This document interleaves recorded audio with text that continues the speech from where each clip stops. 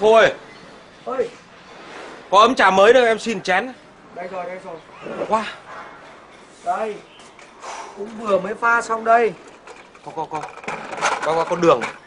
Thì em tụt huyết áp hay sao? Có làm sao từ xưa đến nay vẫn uống trà đặc sao phải đường? Đây mới pha đây. Vâng. chú uống đi. Mà sáng ngày ra có gì mà đã kêu mệt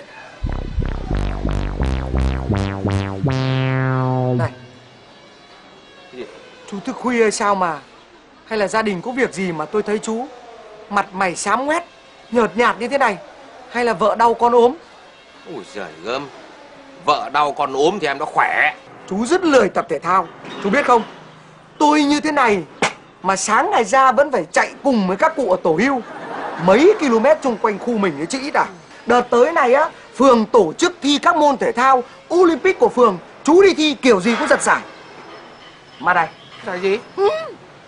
Thứ nhất nhá Giải của chú là giải đánh xăm nhanh. Giải thứ hai là giải vá kỹ thuật. Giải thứ ba là giải hỗn hợp.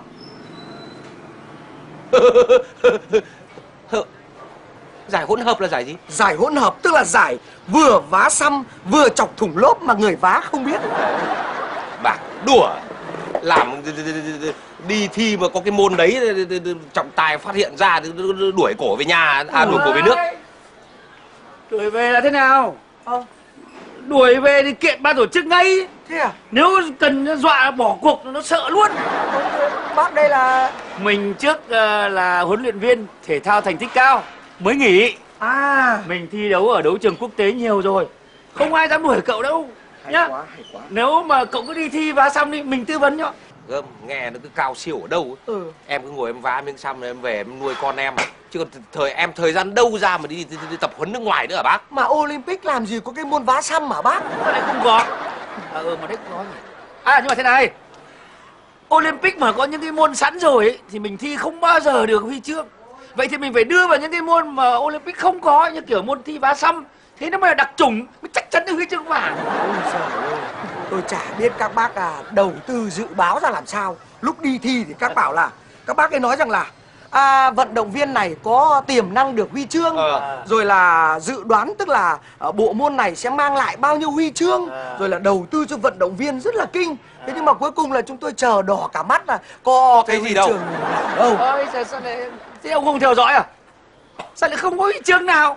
Hằng Phúc vâng ạ gì Huy chương HCB, huy chương HCD Là huy chương bạc, huy chương đồng Chứ không huy chương này nó là cái gì?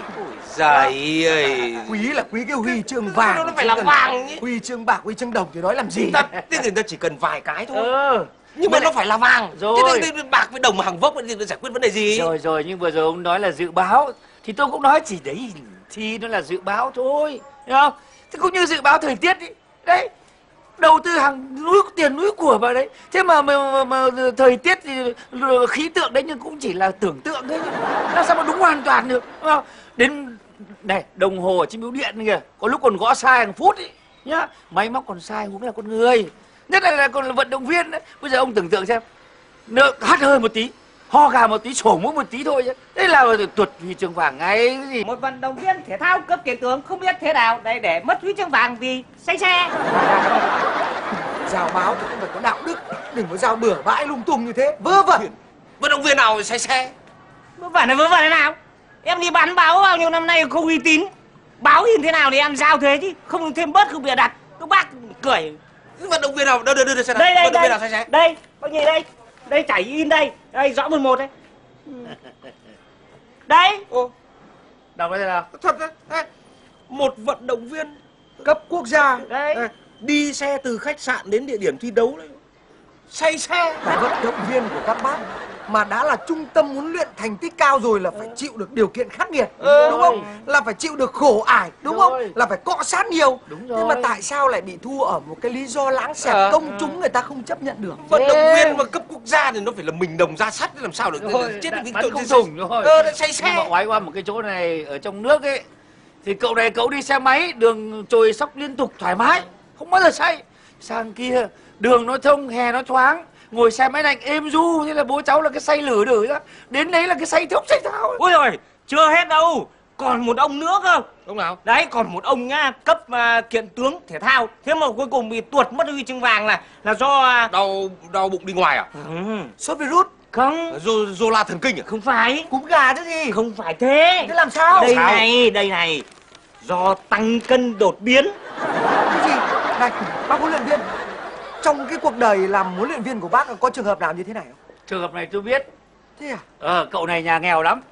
Huấn luyện viên hồi vỗ béo mãi mới được từ 50 lên 59 cân. Đấy. Thế nên là cho thi đấu hạng dưới 60 kg thế nhưng mà cũng không được. Vì sao đấy? Vì là cái cái lý do rất là vớ vẩn. Huấn luyện viên quản lý cậu rất kỹ. Thế nhưng mà đến khách sạn ở cái chỗ nước ngoài thi đấu thì một mình bố cháu ở trong phòng trong tủ lạnh thì lại đầy hết cả răm bông xúc xích rồi hoa quả rồi nước dừa nước ép. Thế là béo lên đột xuất lên 60,5 kg à. trước khi thi đấu ban tổ chức họ cân. Thế là họ đánh lên đánh thi đấu với hạng dưới 70 Ôi rồi. Thế. Có 60,5 mà đấu với ông 7 70 thì, thì, thì, thì, thì, thì chết thì, thế thì khác gì ông em đánh với ông anh. Đây này báo đăng chi tiết luôn. Như đấy vận động viên thể thao của mình nhá. Vào thì cuối cùng có dám đánh đâu. Ờ. cứ khởi động Chạy xong lắc lè đấy, quanh sàn đấu. quanh sàn đấu. Ừ. xong nào chờ đến lúc có keng vắt hết trò. Ờ. Thế vì thằng ấy nó to quá. To quá không dám nhảy vòng sắp cả. Cả thế đấy. à? À. Sao mà còn còn còn còn còn còn vấn đề. còn còn đây này. À, đội à, cầu mây nữ suýt nữa đoạt huy chương vàng. Thôi thôi thôi thôi ông, ông, ông biến biến biến ông biến đi. Thế- chán lắm rồi ông ạ. Bạn- cứ suýt suốt thì ông thôi mua cho em mấy tờ đi. Mua Ôi. cái gì? Khi nào có huy chương vàng thì tao mua cả mớ. Nhá còn mà mày cứ toàn được nói huy chương suýt thế này thì mệt quá. Thì, thì in suýt thì em bảo suýt. Thôi suýt. Rồi rồi. Bác một cười. Rồi rồi. Khi nào mua thôi. Rồi đạt huy chương vàng tôi mua cho cả rổ. Rồi. thân của ông bán báo giá kẻ có được cái huy chương vàng thì kiểu gì ông ấy cũng bán báo một cách hùng dũng và oai phong hơn. Đúng rồi. Nhưng cứ suýt thế này trông bán báo cũng hèn lắm các giọng bác ạ. dao nó khác. Ừ. nó có Này, có có, có đánh tôi thép. tôi tôi tôi ờ, có ý tôi hỏi bác thế này nhé rồi. Ờ, bác cũng làm trong cái giới thể thao đấy bao nhiêu năm. Thế liệu bác có đề xuất cái ý kiến gì để cho nền thể thao của chúng ta có thể đạt được những cái huy chương ở những cái giải đấu lớn không? Thế tóm lại là ông có kế gì hay ông bảo tôi thế chú, tôi tôi tôi có, có cái ý tôi kiến có gì cái không? ý kiến thế này. Rồi. Ờ, cũng chỉ là để tham khảo đấy nhá. Rồi. Ờ, nghe cảm thấy được thì ông, rồi rồi nghe luôn nghe luôn. ông xã hội hóa thể thao cho tôi đi. Xã hội hóa. Ý này hay. Ờ, cụm từ này hay. Xã hội hóa thế nào? Cụ thể là thế này nhá. Rồi. Ví dụ chuẩn bị có một cái giải đấu nào đấy. Ừ. ông đi ra ngoài đường. Rồi. Ông bắt vận động viên tại chỗ. Rồi. Tôi nói ví dụ như là ví dụ là đi thi đấu cái môn môn môn bia này. Rồi. ông vào bia. Ông đây đây đây, đây. Ngay câu lạc bộ bia này, này. À. ông vào đấy. À. Ông tìm cho tôi. Mấy cái thằng nó đánh ở trong đấy. Ừ. chắc chắn nó sẽ mang huy chương vàng về cho ông. Rồi rồi. Bởi vì sao? Một ngày nó kiếm cả bạc triệu. Rồi. huy chương của ông là cái gì? Rồi rồi. Đúng không? Thế tóm lại là nói như ông ấy nhá. Thì thì ra kia thấy một đám đang đánh nhau. Tôi mời hai ông Tuyển vào. luôn. rồi thi đấm bốc. Được karate. Ôi bỏ bôi. Vận động viên người ta là toàn những người có bằng cấp hẳn hoi chứ. Có phải dân phủi đâu Thôi.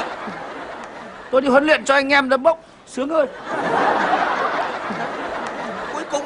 là ra cách gì đâu.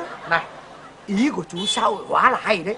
Mà theo tôi không nên xã hội hóa nữa mà còn phải cổ phần cơ. Cổ phần thế nào? Tức là mình cổ phần theo kiểu là khu vực đấy. Tức là mấy nước xung quanh này khi nào có giải đấu olympic mình sẽ cổ phần mỗi nước góp một số vận động viên vào ờ, trở thành một công ty.